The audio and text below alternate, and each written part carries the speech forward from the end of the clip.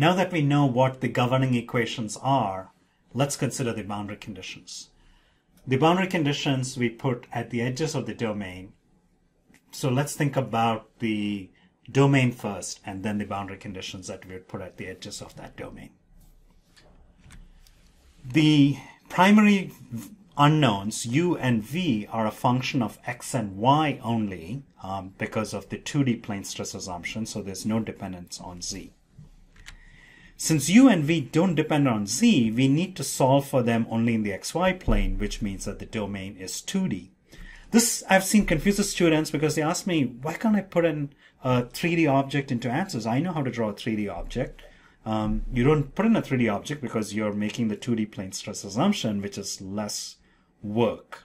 Why do more work when you can do less work?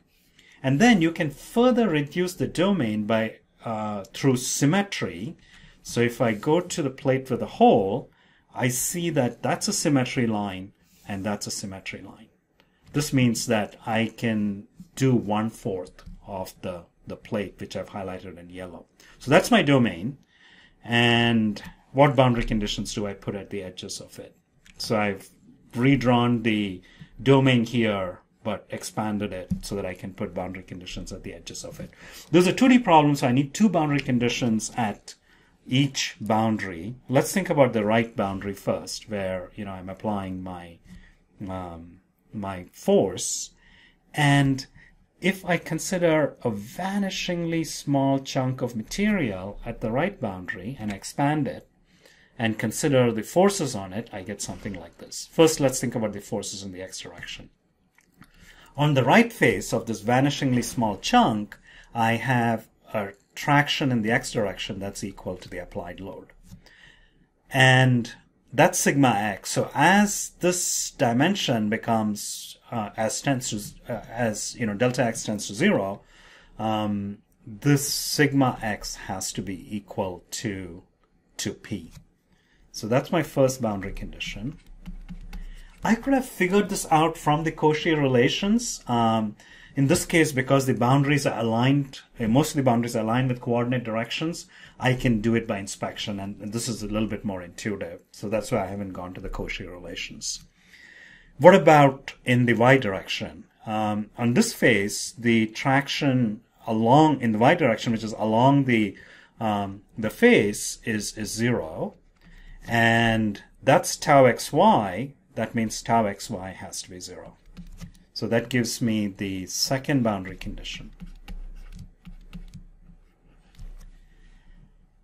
What about at the lower boundary? Now that's a symmetry boundary, which means it can move only parallel to itself. It cannot move in the y direction.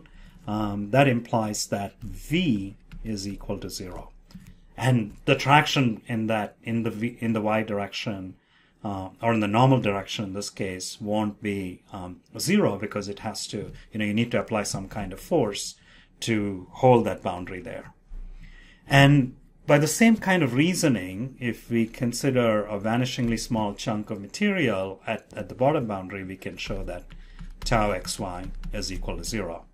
Now this is also a symmetry boundary which will move, which can move only in the um, y direction. So I have a displacement boundary condition u equal to 0, and similarly tau xy is equal to 0.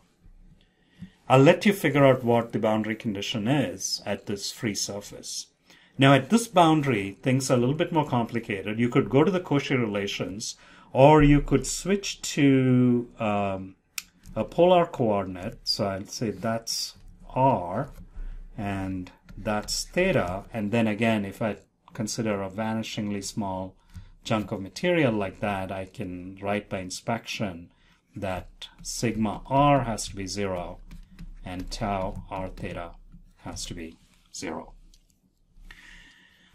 And one thing to keep in mind is that, you know, ultimately everything is calculated in terms of displacement. So these um, boundary conditions in terms of stresses filtered down to the displacements. To see that, let's consider tau xy. Now, tau xy is related to the shear strain by this uh, equation, which we saw in the stress strain relationship. Um, so if tau xy is zero, then gamma xy, the shear strain has to be zero. But gamma xy is related to the derivatives of the displacement. So if gamma xy is zero, this whole thing is zero. So this boundary condition essentially filters down to boundary conditions on the derivatives of the of the displacement. Um, so you can have two kinds of boundary conditions at each boundary. Uh, either it's a boundary condition on your displacements or it's a boundary condition on the derivatives of the displacements. And I think of that as analogous to what I've seen in you know my first year math courses where if when I solve a simple boundary value problem, I have boundary condition in terms of u or du dx. Um, so this is the same thing, only more complicated.